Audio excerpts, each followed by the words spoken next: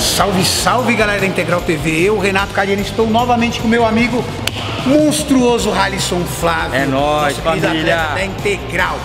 Lembra daquele quadro que nós fizemos aquele treino de bíceps? Você que não tem tempo para treinar, você que está na correria, tá fazendo faculdade, trabalha, a tua mulher não deixa você ir para academia, você vai falar que você vai tomar um café na padaria e vai fazer um treino de ombro.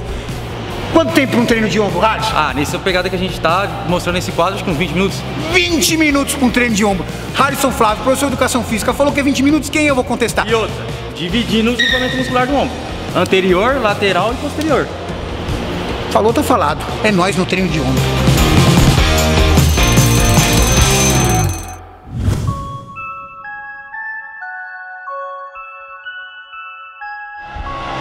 Vamos começar com a, com a porção frontal do ombro. Novamente, B7. Militar na máquina de frente. Tá pronto lá. Exatamente. O militar na máquina nós podemos fazer em duas possibilidades, né, Harrison? Por trás da nuca ou por frente da nuca. Por trás da nuca, legal, mas cuidado, é um dos exercícios mais lesivos, né? Lesiona, lesiona. Se você não tiver um grupo muscular preparado para receber esse exercício, possivelmente você vai machucá-lo. Um exemplo prático. O Harrison acabou de sair de uma competição. O que, que nós vamos fazer? De frente. Frente. Por quê? Porque a musculatura ela tá enrijecida. Você tira o carboidrato, passa por uma dieta bem restrita, depois você joga esse carboidrato de uma vez, o que vai acontecer? Vai endurecer tudo, entendeu? Então tá meio rígido ainda, tem que ir devagar, tem que ir segurando, senão machuca de verdade. Militar na frente, vocês vão entender com frontal na barra aqui, ó. B7, 15 movimentos em dois exercícios. Fez os dois, descansa 30 segundos para uma nova série.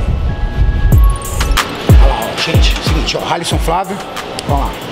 Cotovelo, ele projeta para frente, para que ele ative o máximo possível o ombro e não o peitoral. Se ele abre muito o cotovelo, ele já começa a recrutar peitoral. Assim, Aí, ó, ó o peitoral. Agora aqui não, ó.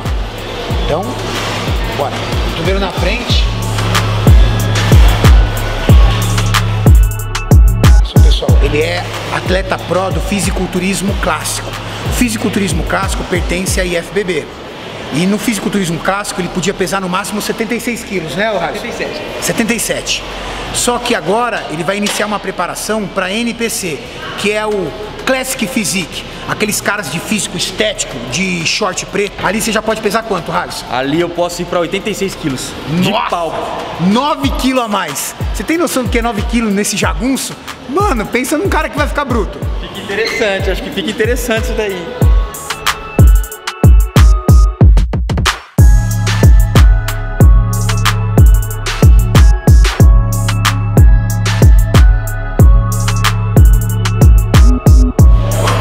Cotovelo, você arqueia ele um pouco para cima. Faz de conta que você tá querendo apontar o cotovelo para cima. Tenta manter a estabilidade do movimento e quando você voltar, não despenca o peso. Segura.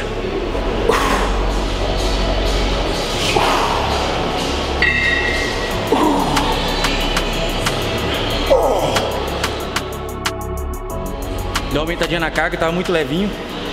Mas agora acho que vai ficar bom. Lembrando, cotovelo um pouco pra frente, jogando lá no frontal de ombro. Dessa, dessa forma. Isso, ficou ótimo.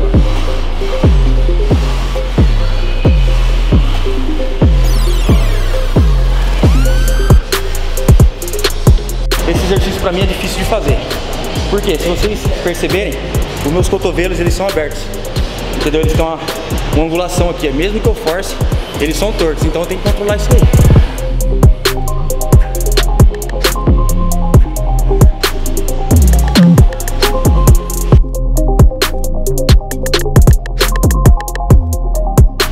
Joga pra cima, hein? Tá bonito de ver, hein, cara. Dobrou o peso esse maldito aqui. Lembrando, pessoal, é o seguinte: todos esses 5 e 7, você, óbvio, não vai utilizar as cargas que você utiliza quando você faz um exercício individual. A dica é: reduza 30% das cargas que você vai resistir. Se você não reduz, se você reduzir demais, vai ficar leve, né, Harrison? Tava leve. Se você, re- como tava leve primeiro, aí o Harrison foi lá e dobrou. Mas tá valendo. Ajustei, ajustei. É, ele dobrou.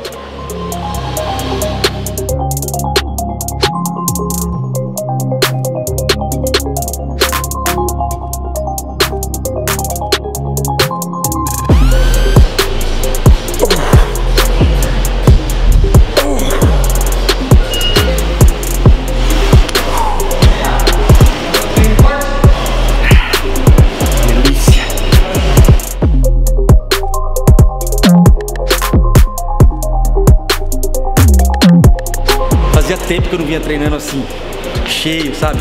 Me alimentando bem. Tava me mantendo numa, numa, numa dieta restrita, treino sempre debilitado. Tô falando aqui pra eles, Renatão. Fazia tempo que eu não treinava assim, bem.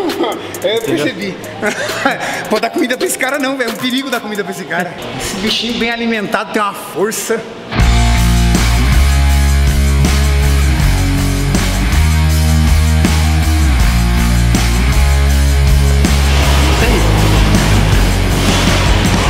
Esse ombro tá demais também. Tá bonito, hein? Tem que acompanhar o time, né, meu velho? Ó. Pensa num time de responsa integralmente. Tá jogando sangue lá? Jogando sangue, hein, gente? Entenderam, hein? Tá na maldade, meu.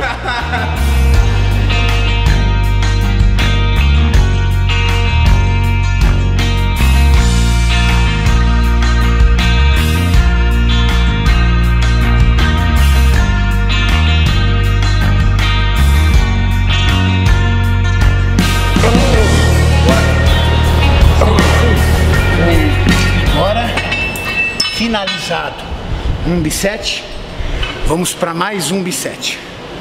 Vamos de elevação lateral simultânea com dumbbell e desenvolvimento com barra. Só que nós queremos a porção lateral. Em vez de a gente levantar assim como nós estávamos levantando, nós vamos levantar assim. Braços mais abertos, dando ênfase no lateral. Isso aqui, ó. Esse é o movimento que nós vamos fazer, ó.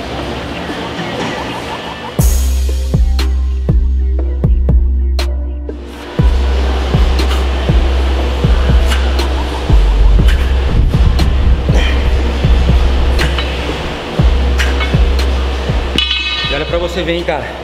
Seis anos de treino, nunca fiz esse exercício. Interessante, né, Radson? Que nós estamos procurando movimentos onde todas as academias tenham dumbbell, barra, não estamos utilizando equipamentos. A tua academia é muito bem estruturada, tem equipamento ali de ombro, articulado, mas nós estamos utilizando o básico, porque o básico é bom, funciona e tem na sua academia. Com certeza. Aqui esse treino aqui é pra qualquer lugar. Qualquer lugar, qualquer academia que você encostar, você faz um treino desse. Agora, e se que treino? você encostar aqui na Golds Life, tem uns equipamentos articulados muito bom para fazer.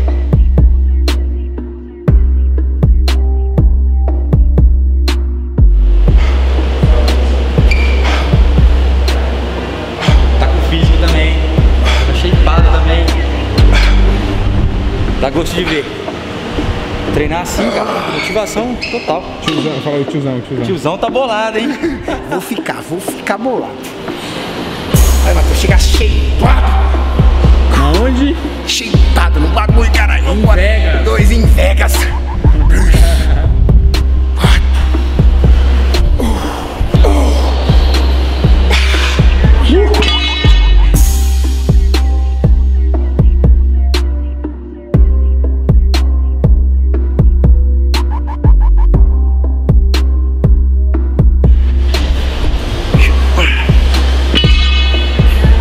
Foi porção anterior. Porção lateral me esmagando e tem a posterior ainda. Tudo isso em 20 minutinhos. Mas, ô, Harrison, lembrando, né? Quem não, não assistiu o seu vídeo, tem um vídeo lá contando a história do Harrison. O Harrison é um militar, ele é sargento do exército. E além de sargento do exército, ele é professor de educação física. Harrison, o que, que você trouxe do militarismo para a tua vida como atleta? O que, que a- o militarismo te trouxe? O maior, que me trouxe de melhor foi a disciplina. Dentro da vida militar, você não pode errar. Você pode trabalhar 10 anos de forma Certinho. certinho. Você errou uma vez, Cadeia. você tá perdido, entendeu? Então você tem que ser pontual. Eu aprendi a ser pontual em várias coisas. Eu não perco horário, eu chego 20 minutos mais cedo, mas eu não perco horário. E se perder foi porque aconteceu algo de extrema importância. Já gravei muitos vídeos com você e a gente, nós já tivemos muito compromisso. Eu nunca vi você chegar atrasado num compromisso. Não me atraso. Não me atraso porque eu aprendi isso. E lá se eu me atrasar, cara, É muito interessante, sabe por quê? Você percebe como a profissão reflete na pessoa. O Harrison é um cara extremamente sistemático. E provavelmente quem transformou ele nesse cara sistemático foi o exército, a vida militar. E isso ajuda ele muito na profissão, como atleta. Porque ele não erra, velho. Pensa num cara sistemático. e se errar, cara, não dorme.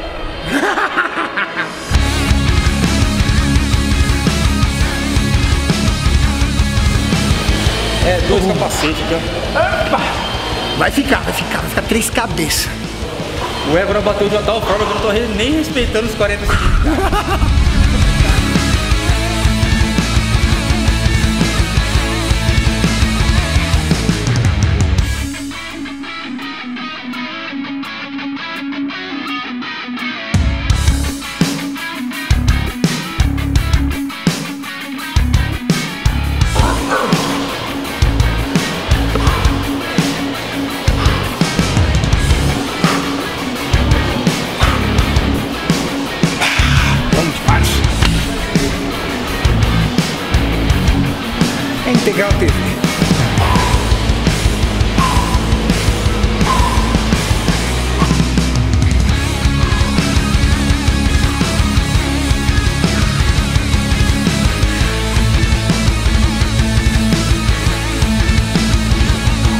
Galera, é o seguinte, trabalhamos anterior, lateral e agora vamos trabalhar o posterior de ombro, tá? Vamos fazer bisete novamente. Com double, tá? Encostado no banco e depois vamos lá pro crossover na corda. Beleza? Então já vou iniciar aqui, depois o Renatão vem pra, pra dar sequência. Bem concentrado, cotovelo tem que chegar primeiro que o halter, beleza? Vocês entenderam a dica aí, né? ó? cotovelo chega primeiro que o halter. Porque se você levantar o halter aqui, ó, você acaba errando, ó. ó. Movimento perfeito. É isso aqui que a gente quer trabalhar. É esse cara aqui, ó. É esse cara que a gente veio buscar.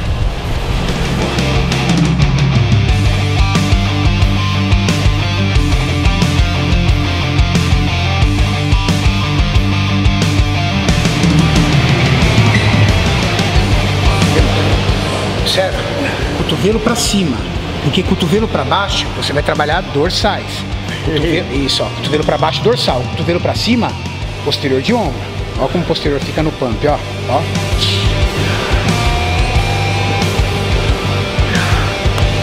É essa região aqui, galera, ó. Posterior de ombro. Você viu que já ativou?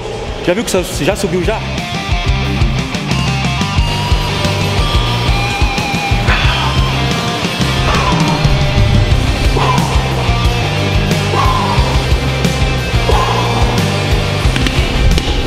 Largou sem massagem. O 30 segundos de intervalo de descanso é quando eu completo o bisete, quando eu faço os dois movimentos. Cotovelo pra cima e chama. Chama, caralho. Tá vindo, Matheus? Tá vindo, Tá cara. vindo? Tá vindo? Só precisa tomar um solzinho, Branquela. Ixi, Maria, tipo o Gasparzinho da maromba. uh, foi? Jogar um, um grupamento muscular, dividido em três, em 20 minutos, dá uma Não é quebrada. qualquer um, viu? Dá uma quebrada. Não, não é. Você tem que estar bem alimentado, tomar um ébora e vir nessa pegada. Animado. Animado, senão não faz não. Mas faz em 20 minutos. Faz, com certeza. É o treino que você pode incluir na sua rotina de treinamento, cara. Ou seja, se o cara tiver 30 minutos para treinar, nesse nosso quadro não tenho tempo para treinar, se ele tiver 30 minutos por dia, ele vai falar que fez musculação todos os dias. Fez todos os dias, sem dúvidas. Aí ele desce três pontos antes do trabalho, vai a pé, fez um cardio. Ué, Isso em, quê? Fiz 40... muito isso quando era moleque, hein? Verdade. Não tinha tempo. Em 40 minutos. 40 Sabe, minutos você ele sabe por que eu tive essa ideia do quadro, Harrison? Porque desde garoto comecei a trabalhar com 11 anos de idade entregando panfleto na rua. Com 14 anos de idade, na minha época, já podia tirar carteira de trabalho. Aí eu tirei carteira de trabalho e fui trabalhar registrado como boy. Dos meus 14 anos de idade até hoje, eu sempre tive uma rotina de trabalho diário, nunca fiquei sem trabalhar. E por muitos períodos eu estudava também. Então eu não tinha tempo para treinar. Mas sempre treinou. Eu treinava na hora do almoço, de 20 a 30 minutos na hora do almoço, porque tinha uma academia a uns 150 metros do trabalho. Então dá, claro, não é o ideal. O ideal é você ter uma hora de treino, uma hora e pouco com cardio. Mas cara, antes isso e treinar todos os dias do que largar, do que Com certeza. abandonar. Não, não, não, não tem necessidade de abandonar. Dá pra você fazer um treinamento desse aqui todos os dias e, e ter uma evolução considerável. Né? Eu não tenho essa, essa vivência toda, mas eu também saí de casa com 15 anos e tô na correria até hoje. Acorda às 5h40 da manhã, vem abrir aqui, e militarismo e vai pra lá, vem pra cá, e uma e meia da manhã tá voltando a dormir. E o treino tem que ser assim, nessa pegada.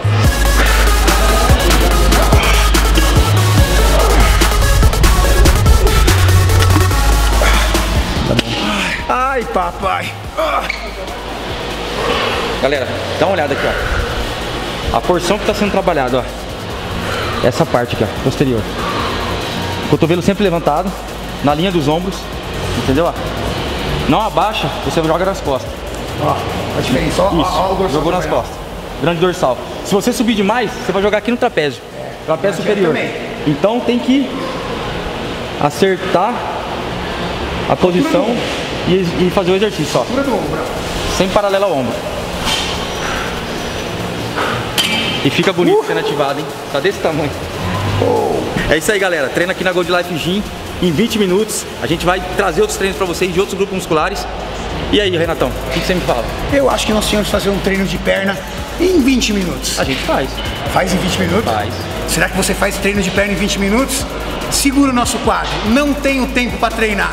20 minutos para um treino de quadríceps. Pena que o Harris tem pouco quadríceps. é, meu velho. Se o cara que tem um quadríceps desse falou que faz em 20 minutos, quem é você para discutir? E se você não quiser, você vai aprender. Galera, aquele like, aquele comentário construtivo, porque nós aprendemos com vocês. Obrigado pela participação aí de vocês no nosso canal. Obrigado pelo carinho. Integral TV é feita pra vocês. Tamo junto, hein? Integral TV.